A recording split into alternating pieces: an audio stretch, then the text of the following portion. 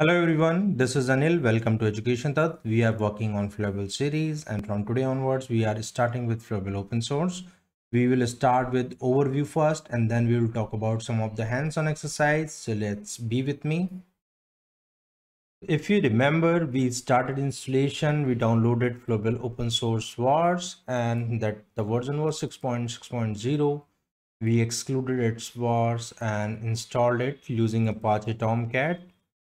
If you have not watched the earlier installation video, I'll put its link on the description as well as you can refer it through the card. And then what we are going to do, we are going to start this. We will create a very simple task the way we did for enterprise version. For that, we just need to start Catalina bat or I'm just looking for startup.bat. Yeah, this one.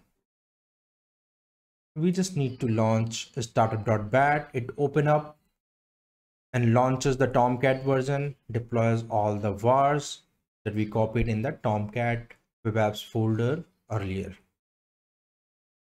This will take some time. I'll give it uh, by the time like uh, this launches up and then we will take you through some of the core components of the offering in open source. So here we can see that the server is starting up and running on 8080 port. As we can see, no exceptions as such. So what it does, it has certain queries or the DML files where it runs on at the start of the process engine or the Tomcat launch event and then basis on the underlying production tables and some of the var file deployment this application or the bpm process engine gets up and running. Let's have a look. For that you need to open up the browser and you need to log in with localhost 8080 slash flowable ui for now i have stopped enterprise services and this is the only service that is up and running so to talk about and give you some comparison an enterprise version we had engage. So that is very similar to the task application here. Then we had design which is very similar to the model application modeler application provided with open source. And then we had control flowable control, which is very similar to or that functionality is comprised within admin application and IDM app. Flowable keeps all these functionalities up to date and latest with market needs.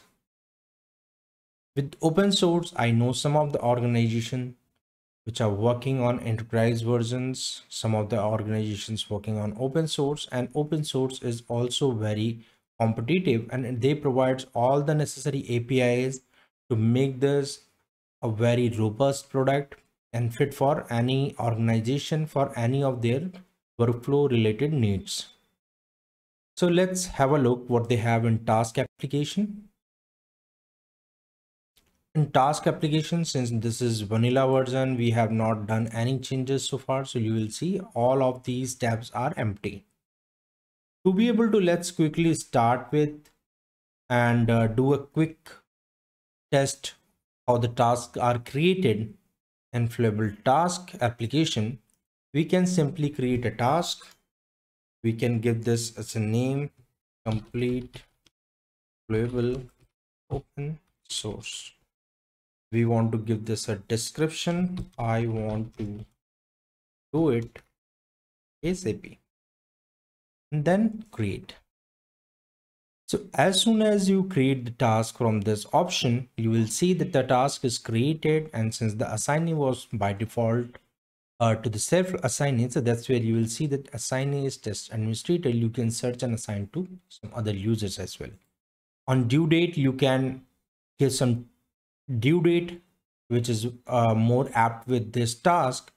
And you can also involve other persons in completing this task. You can attach some content uh, comments and uh, you can even create a subtask. So all these options you can see are very well available here. Now the next thing, we are not going to do much uh, research with this flowable open source version in this session because the idea is to give you a quick highlight how the applications can be up and running and how the task can be created. So we can just simply go and complete this task. Right. So this is what we wanted to complete in this session. Going forward, we are going to create a complete application very similar to the way we did in enterprise version for loan application. But this time we are going to create this, we are going to modify it, and then we will be going to deploy it. So this was a quick session on Flowable introduction, though we have not talked about much of other applications or the models within open source that we are definitely going to touch base and discuss that in detail. But with this, let me know any feedback on the open source or some of the sessions I already talked about. Happy to share your feedback in comments, like, comment, and subscribe. Obviously, this is a motivation for me and building a good content over the period of time. Thanks for watching.